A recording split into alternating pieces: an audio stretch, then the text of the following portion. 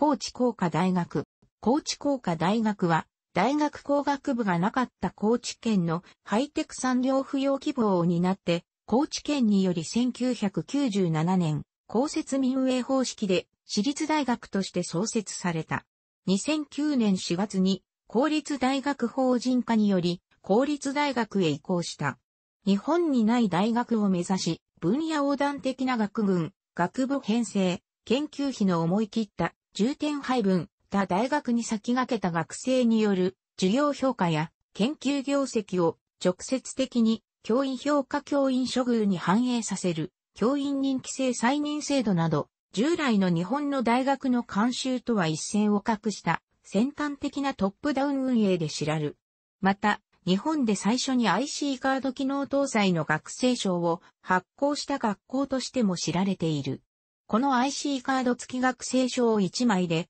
ドアの開錠や出席の登録などが行える。高知工科大はアメリカ景観建造物協会優秀賞、公共建築賞優秀賞を受賞しており、大学当局は日本一美しいキャンパスを自称している。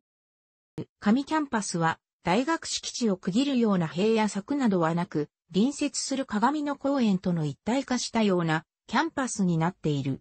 そのため、キャンパス内を一般の方や隣接する上市立片地小学校の児童が歩いている光景がしばしば見かけられる。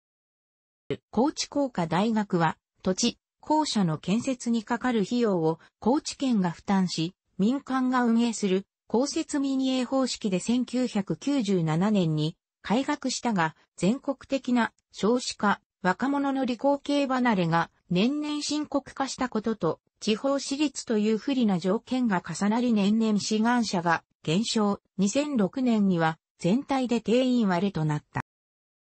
公立大学法人制度創設が盛り込まれた地方独立行政法人法が2004年に施行されたことにより、高知工科大の公立大学法人化に関する議論が本格化した。2007年12月に文部科学省から公立大学法人への移行は可能。2008年2月に総務省から地方交付税措置が受けられるとの見解を確認。その後、県とも協議し、2009年4月に公立大学法人化させる方向で合意した。2009年3月に公立大学法人化することが文部科学省、総務省に認可され、同年4月より県立大学として公立大学法人による運営に移行した。公立化の事実上確定が周知された2009年度入試では、他の国公立大入試とは異なる別日程の次第型入試で他の国公立大と併願可能いうことで前年度比7.8倍の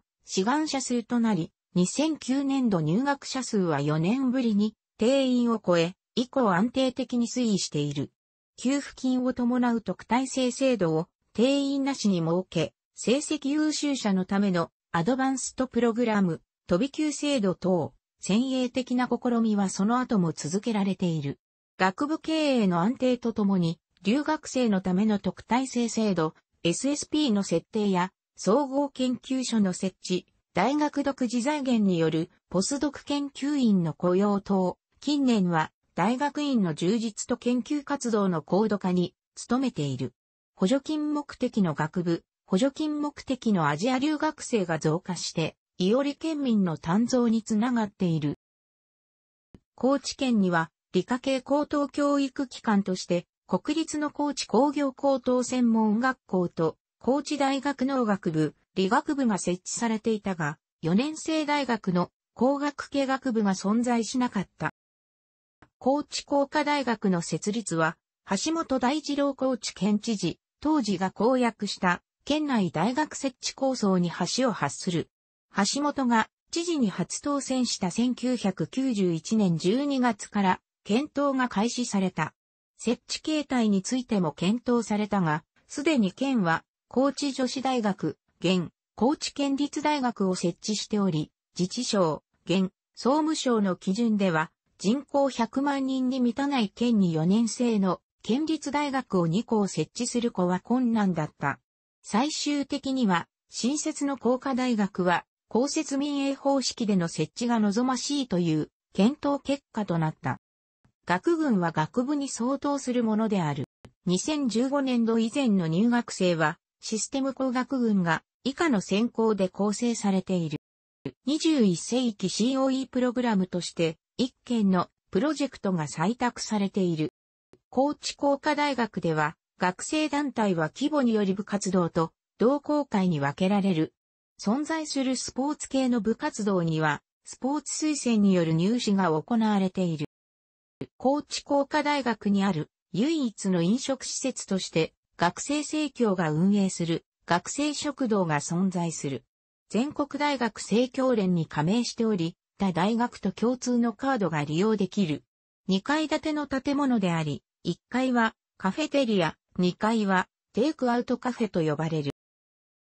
カフェテリアでは、唐揚げやハンバーグといったおかず類、うどんやラーメンといった麺類、カレーや牛丼などといった丼類、およびライスや味噌汁といった単品ごとに料理を選ぶことができる。時々カルボナーラうどんや、認めは完全にシチューだが、シチューとカレーが混ざったようなホワイトカレーなどの謎のメニューが登場することがある。単品ごとに値段が設定されており、レジで合計金額が計算される。営業時間は、平日は11時から22時土日祝日及び、長期休みの期間中は18時から20時である。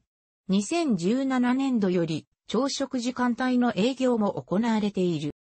テイクアウトカフェでは、テイクアウトを念頭に置いたメニューが扱われている。パスタ、チャーハン、丼物などの持ち帰り可能な調理品や、パンやピザなどの手作りパンが主要メニューである。値段設定は1階に比べ高めに設定されている。営業時間は10時半から15時である。夕飯の提供は行われていない。上キャンパスに併設されている図書館である。館長は情報学群の篠森慶三教授である。大学の学生や教職員の利用を想定して作られたものであるが、地域住民も図書の貸し出しが可能である。吹き抜け構造をしたガラス張りの建物であり、窓からは池の景色が望めるなど、景観は良好である。その一方、大きな吹き抜けの影響により、空調が極端に効きにくく、夏は暑く冬は寒い状況となっている。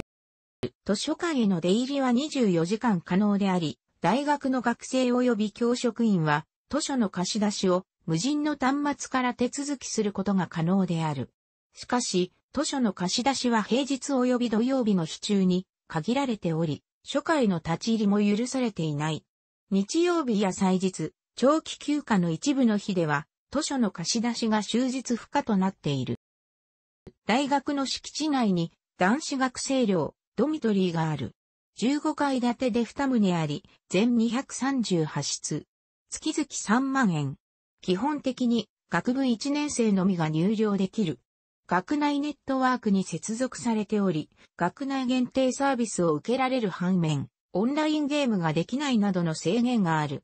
門限はあり、夜11時までには帰宅しなければならないが、正当な理由があり、書類を提出すれば許可される場合がある。府中旋盤、卓上旋盤、フライス盤、バンド層が各1台ずつ備え付けられている。研究室など一部の学生の使用しか認められておらず、一般の学生は申請を行ったとしても使用することはできな。また、この加工室を使用した実習や講義はほとんど行われていない。など。楽しくご覧になりましたら、購読と良いです。クリックしてください。